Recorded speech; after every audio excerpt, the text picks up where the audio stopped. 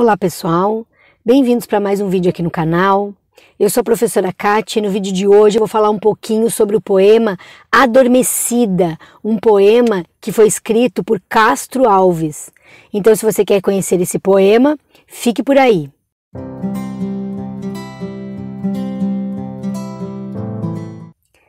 Bem, gente, antes então de começar a fazer a análise do poema Adormecida de Castro Alves, e inclusive a leitura do poema que eu vou ler aqui para vocês conhecerem, para relembrar aqueles que já conhecem, eu gostaria de situar o poeta e o poema. Primeiro o poeta, Castro Alves. Bom, Castro Alves é o maior expoente da literatura romântica brasileira. Ele é o maior nome da terceira geração da literatura romântica no Brasil, conhecido como poeta dos escravos. Então, o Castro Alves escreveu muito sobre a escravidão no Brasil. Mas, além desse tema, ele também escreveu poemas líricos, como é o caso do poema Adormecida, que inclusive é um poema considerado lírico erótico. Esse poema, Adormecida, foi publicado dentro do livro Espumas Flutuantes, no ano de 1870, exatamente um ano antes da morte de Castro Alves, que foi em 1871. Bem, o que, que a gente tem que observar aí nesse poema? Né? Primeiramente, a questão da mulher. Acho que mais importante de tudo é perceber a diferença do papel da mulher nesse poema do Castro Alves. Então, o que a gente tem ali, gente, é um cruzamento de referências românticas. Eu já vou ler o poema aqui para vocês. E a gente tem que observar assim, ó, ao mesmo tempo que a gente tem a sensualidade da terceira geração romântica, no caso Castro Alves, não é mesmo? A gente tem também a idealização, que é uma característica da mulher nos poemas da segunda geração romântica da poesia de Álvares de Azevedo, por exemplo. Então, perceber essas referências, né? A gente tem duas referências, então, a gente tem referências de duas escolas literárias dentro de uma poesia só, dentro de um poema só. Ainda sobre a questão do poema, falar um pouquinho sobre a estrutura dele. Ele tem sete estrofes, então, sete estrofes, né? Sete blocos, com quatro versos cada bloco. Então, ele tem sete quartetos. E é essa, esses quartetos possuem versos brancos, chamados de versos brancos ou soltos, que são os versos que não têm rima. E isso é uma característica muito romântica, é uma característica muito da poesia romântica. Por quê? Porque eles buscam uma certa liberdade para a poesia com relação à escola anterior, que era o arcadismo. Então a gente vai ver que, que em alguns, poe alguns poemas de alguns poetas a gente vai perceber essa questão do verso branco ou solto, que é o verso sem rima. E também a gente percebe que no caso do Adormecida, esses versos brancos ou soltos são, estão presentes em todos os versos ímpares. Todos os versos ímpares do poema são brancos ou soltos, ou seja, não tem rima. E o poema é todo em decassílabos, né? É, além dessa questão, a gente tem a contagem das sílabas poéticas, independente do verso ser rimado ou não, no poema Adormecida, ele tem 10 sílabas poéticas em cada verso. Bem, então, gente, eu vou fazer a leitura aqui, eu faço algumas outras considerações no final aqui da leitura do poema. Então, se chama Adormecida, ele tem uma epígrafe do poeta romântico Musset. Mas tem um porém, eu não sei falar francês, então eu não vou ler essa epígrafe aqui para vocês, porque eu não quero passar vergonha nesse vídeo, vocês estão me entendendo? Enfim, deixa aí, deixa aí a epígrafe vai passar aqui durante o vídeo para vocês conhecerem, tudo bem? Bom, depois dessa epígrafe, a gente parte então para as estrofes.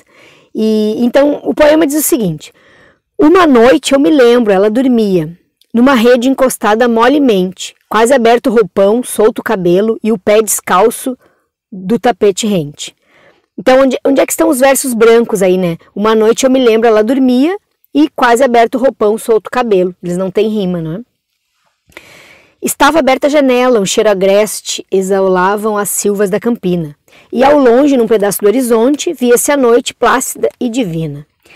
De um jasmineiro os galhos encurvados, indiscretos, entravam pela sala, e de leve, oscilando ao tom das auras, iam na face trêmulos beijá-la. Era um quadro celeste. A cada fago, mesmo em sonhos, a moça estremecia. Quando serenava, a flor beijava. Quando ela ia beijar-lhe, a flor fugia.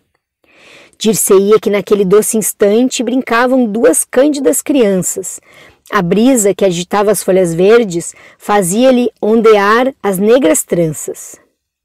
E o ramo, ora chegava, ora afastava-se, mas quando havia despertado a meio, para não zangá-la, sacudia alegre uma chuva de pétalas no seio.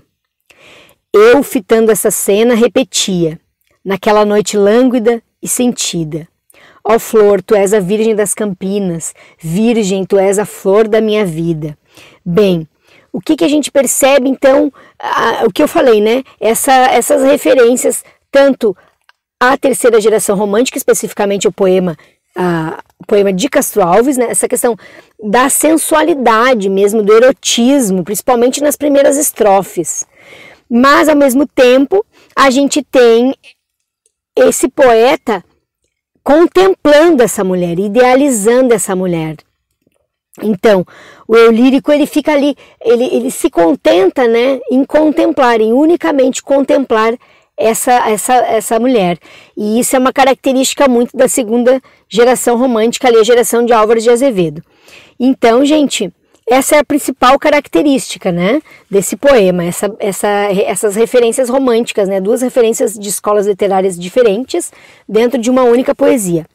No mais, um poema descritivo, então, das cenas, e além disso, a gente tem uma referência ali muito moderna, como eu já falei, os versos brancos ou soltos é uma espécie de liberdade romântica com relação à estrutura fixa de versos da escola anterior, que é o arcadismo, mas a gente também tem palavras que são da oralidade, por exemplo, quando ele diz pra não zangá-la, sacudir alegre. Pra esse pra é uma forma coloquial, uma forma da oralidade de se falar a preposição para. Então tem essa característica, mais essa característica da liberdade aí nos, nesse poema romântico do Castro Alves. Bem, gente, eu acho que era isso. Espero que vocês tenham gostado aí do vídeo sobre a poesia, o poema Adormecida de Castro Alves. Se tiverem alguma pergunta, deixem aí na descrição do vídeo, algum comentário deixem na descrição do vídeo que eu respondo. Se gostaram do vídeo, curtam o vídeo, inscrevam-se aqui no canal, ativem o sininho para receber as notificações. E também inscrevam-se lá no Instagram do Boteco e sigam a nossa página lá no Facebook. Curtam a nossa página lá no Facebook, né? Desculpa. Bem, gente, então antes de finalizar esse vídeo, um último recadinho sobre as minhas aulas, para aqueles alunos que estão se preparando para a prova da FUVEST e da Unicamp. Para esses alunos, eu montei grupos de estudos onde nós vamos estudar as literaturas, as leituras obrigatórias do vestibular da FUVEST e da Unicamp. Quem quiser participar desses grupos ou saber como eles funcionam, Basta mandar uma mensagem pelo meu e-mail pessoal ou pelo Instagram do Boteco que eu respondo e explico tudo direitinho. Como funcionam as aulas, o objeto de estudo, a duração das aulas, quantidade de aulas semanais e valores. As formas de contato que vocês estão vendo estão disponíveis aqui no vídeo. E então, dito isso, eu vou parando por aqui. Agradeço quem ficou até o final do vídeo e até a próxima.